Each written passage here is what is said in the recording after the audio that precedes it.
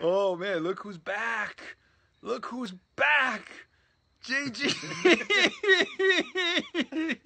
Me? yeah, you, bro. Okay, so hi everybody. Let's see who's gonna who's gonna jump on board and join this virtual conversation so that we don't feel like we're speaking into a vacuum or talking into the void.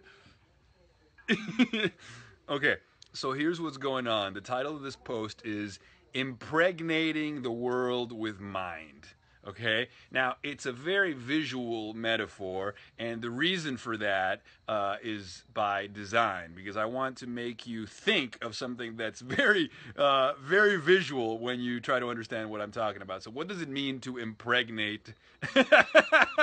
what does it mean to impregnate the world with mind? Well, think of your think of your childhood. You're a little kid and let's say you grew up in a house with a really big yard. So you have that huge perimeter of private property in your backyard and you go to your backyard to play right? One of the things that happy childhoods are known for is for instances of deep play. So you're in your backyard your private property your kingdom, so to speak, and your parents say, go play. So then you go play Wizards and Warriors, or you get dressed up as a cowboy, or you get dressed up as a superhero, or a space explorer. And the garden, the landscape, the backyard becomes the canvas for your imagination. You essentially impregnate the world with mind. So even though you're out in a physical environment, you might as well be dreaming right? The whole definition of deep play means that the mind is allowed to become unbounded so that you can inhabit your imaginal daydreaming meanderings.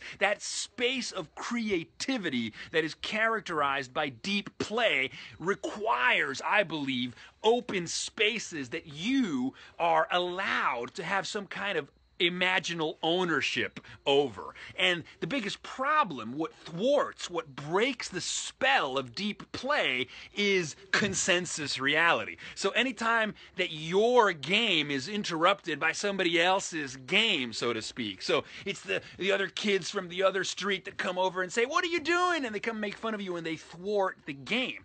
And so one of the difficulties from uh, in being creative in these increasingly oppressive cityscapes in which we dwell is that the sort of surveillance state mentality and the paranoia about terrorism and the fear of sticking out has created a generation of highly neurotic beings who are constantly holding back, right, from expressing themselves in any meaningful capacity, making it so that we essentially are are are ugh, in are living with a state of perpetual anxiety for fear of expressing ourselves, for fear of being um, untethered from consensus trance. And you know, I'm not the first one to say this. Robert Anton Wilson, back in the 60s, used to talk about being stuck in these reality tunnels. You know, Timothy Leary talked about the eight circuits of human consciousness. You know, used to say that we are like larvas. We haven't turned ourselves into butterflies yet. So even though we each have the capacity to soar, to overcome, to transcend,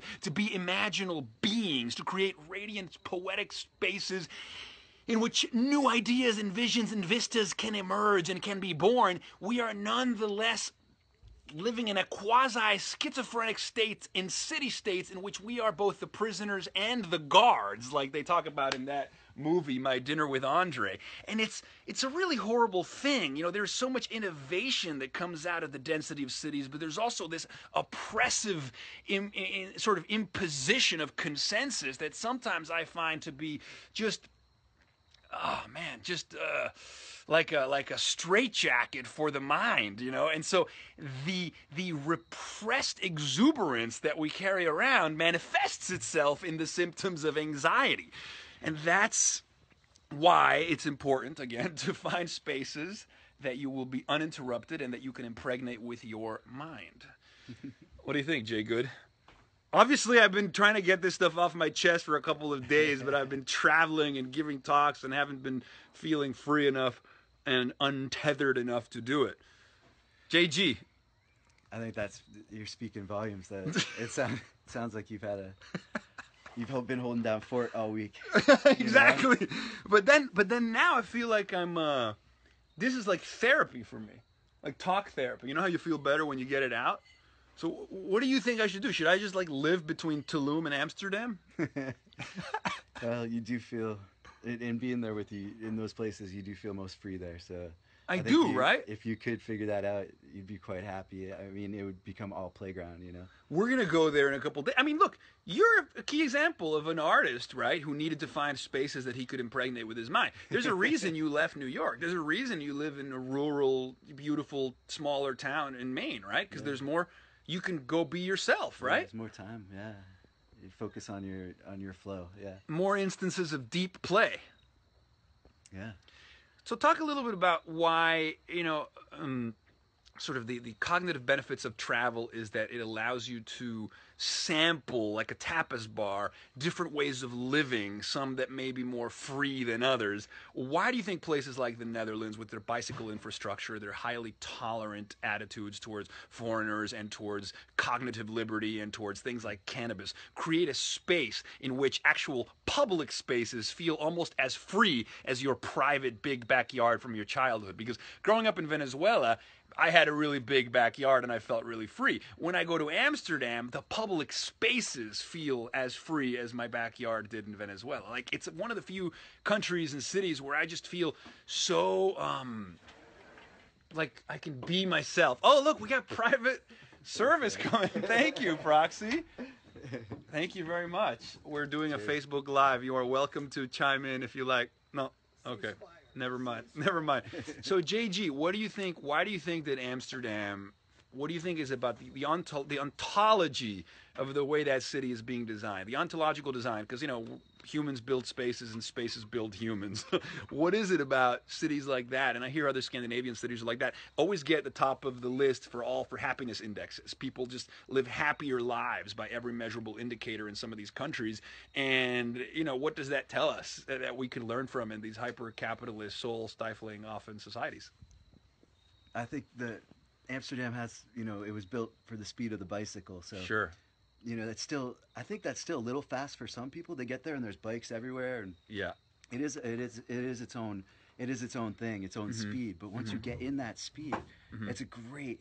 It's a great pace to be Mhm. moving around fast, and it's so healthy. it and- changes your relationship with space the whole the whole urban landscape you know a, a- an urban landscape designed for the bicycle and a bicycle that is designed for the urban landscape creates a nice coupling And right? and that too. coupling you know people don't realize that consciousness is a dance between the subjective and the objective. Like you become what you behold. You are sum of your surroundings and the people you spend time with. And so subtle design cues in city design end up informing the very nature of conscious thought. So your very subjective experience actually is sort of massaged and sustained by the ontology of the designed spaces around you. The cognitive impact of the designed spaces and structures and culture.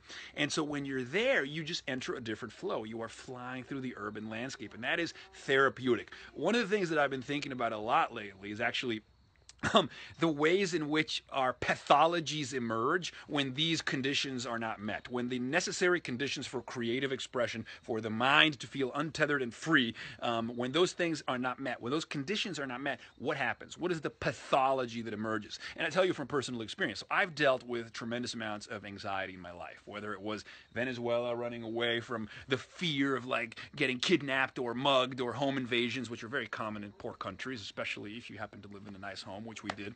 Um, so there was that anxiety and fear, and then there was like the hypochondriacal anxiety of fear. You know, I, I just I, I'm a secular Jew, and I grew up thinking about you know the human condition and philosophy and existentialism and why are we do and what are we here for and what is this thing called death. And so there's been that anxiety, and then now there's the anxiety of just like wanting to be creative and do something inspiring and feeling the pressures of consensus. Like, what are we supposed to do? How are we supposed to live? You're supposed to get married, or you're supposed to move into this house, or you're supposed to get a responsible this and that. I mean, everybody can deal with that. It's Lester Burnham in American Beauty talking about growing increasingly sedate from the soul stifling constriction of the designed reality in which we live. I mean, there was an article in New York Magazine called The Psychological Impact of Boring Buildings, just buildings alone, designed to stifle the spirit, create more cortisol, stress us out.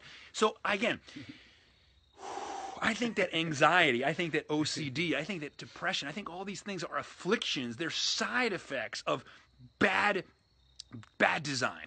And I think that because our cells are a technology that turns experience into biology. Who we are and how we unfold is determined by the creative and linguistic choices that we make and also by the environments in which we dwell. And so when you hear that 70 million Americans are on medications for anxiety, even though we live in the most quote unquote abundant time in human history, you start to realize that something is fundamentally wrong with how we are living our lives. There is an emptiness, there is a fire in the belly, there is a nodding resignation into nothingness. And so what do we do? Let us sedate ourselves with Xanax because how oppressive to try to question a system that's already oppressing you. And so it's like, oh, it's like, mm. So I've been thinking a lot about this, and you know, you start reading books about all the pathologies that emerge when you're anxious, sensory motor obsessions, OCD. I mean, it's it's it's pretty fucked up. And so there's this hunger now for transformation from within. People are taking psychedelics, ayahuasca in droves. People are going to Mexico and taking magic mushrooms. People are talking about cannabis, something that for a second allows you to enter a state of contemplative bliss and disconnect from the always on, constant interruption demands of modern life. And if I sound a little manic, it's because obviously I've been holding this in for a couple of days, but too many people are leading lives of quiet desperation, and it saddens me. What do you think, JG? You got me thinking about, you know, J.P. Morgan, Edison, uh, you know, Rockefeller, if, if they had been interested in making everything free for our society and, and like, you know, set things up with that intention, it would be a little bit more like Amsterdam. Like, you know? well, it, this is supposed to be the place of individual liberty and freedom, but I don't know. I just feel like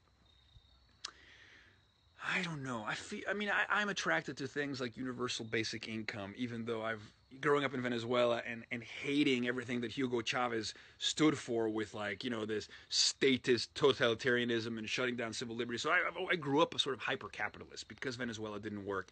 I saw America as the holy grail, capitalism and toys and things, and you could buy things and all those things are awesome, but like, you know, in the movie Fight Club, they say the things you own end up owning you. I think there's something, there's sort of the next level beyond that, which is like, can we use our tech tools and technologies and our abundance to give people basic needs? So take care of the basic needs to eliminate the existential dread of basic health and basic education and where to sleep that night. And once you get rid of those basic existential dread things, then there's the next wave of existential dread, which is what the fuck do I do with my life? What am I going to do? What is going to be my hero's journey? But at least that journey, when you don't have to worry about meeting basic needs is an exciting journey to take you know? And so i think that we could learn from the way that countries like copenhagen you know uh, the denmark copenhagen amsterdam netherlands all these places um, take care of some of these basic needs for people. And you know some switzerland i think was talking about maybe experimenting with universal basic income. But i, I don't know. I just feel like you know, if we're going to get to this technological singularity, like there needs to be something that we can do to better take care of our people to alleviate the pressures that make them work jobs they hate to buy things they don't need. I, I, mean, I guess I'm in agreement with this idea that what is needed is a shift in consciousness, and sometimes the lack of it makes me nauseous. Hmm. Letting off some steam with Jason G.